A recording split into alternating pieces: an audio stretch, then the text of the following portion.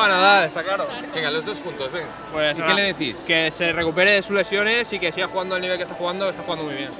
Hay ánimos y apoyo, que aquí estamos todos con él, que seguro que siempre, siempre ha sido el mejor y seguro que va a seguir igual. Claro que sí, muchas gracias. Hasta.